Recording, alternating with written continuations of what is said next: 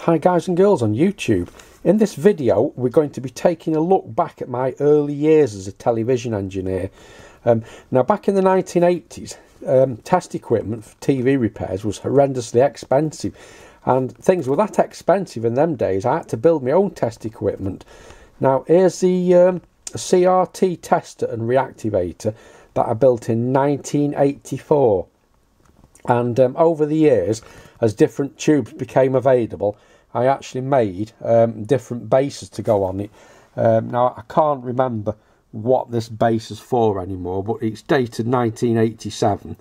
Um, I've, I've, got a funny feeling it might have been for a Grundig TV um, because um, a lot of TVs you needed um, a, a, different base for every CRT. So uh, back to the tester.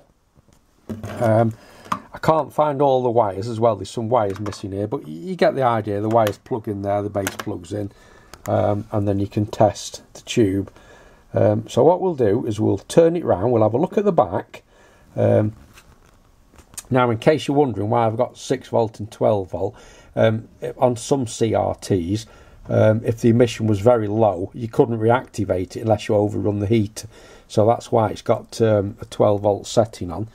Uh, but yeah, there you go. We'll uh, we'll stop the camera. We'll have a quick look at the back of it, and then we'll take the lid off because um, it's a long time since I've seen in the back of here. Right, so here's the back view.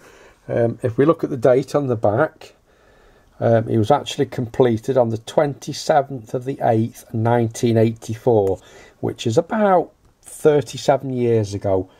Um, and that's a sticker from my old shop. Uh, we actually had a, a, partnership with two other people, um, but I was the uh, I was the engineer, and the other people just did the uh, uh the collections and deliveries and the paperwork and billing and things. So um, hmm, painted in blue hammerite. You turn it upside down, you can see it was just a silver instrument case. Over the years, it's lost a foot. Um, so yeah so let's um, let's get the lid off and have a, a quick look inside because this is going to be a trip down memory lane as, as well for me. Well guys I've got to say this is a real trip down memory lane for me.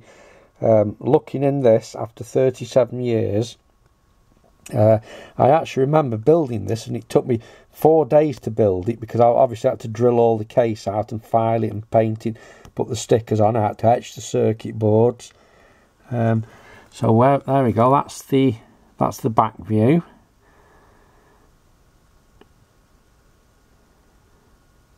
And then I'll just lift the camera up and we'll turn it around.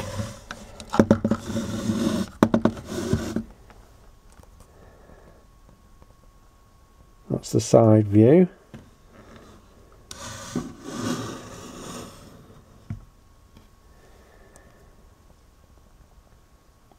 And that's looking in from the back.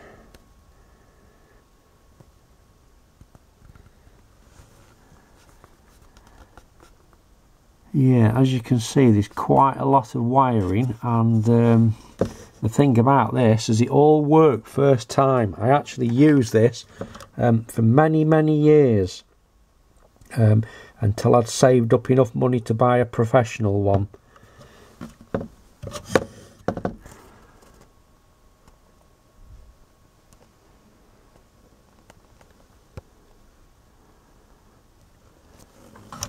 Let's just do an overhead shot.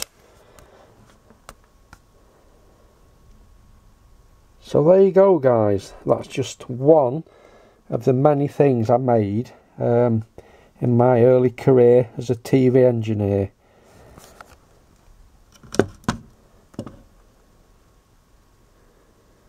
Yeah, what a trip down memory lane looking at that. The good old days when things could be repaired.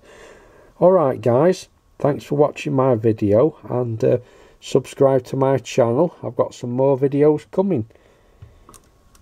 Thank you for watching. Goodbye.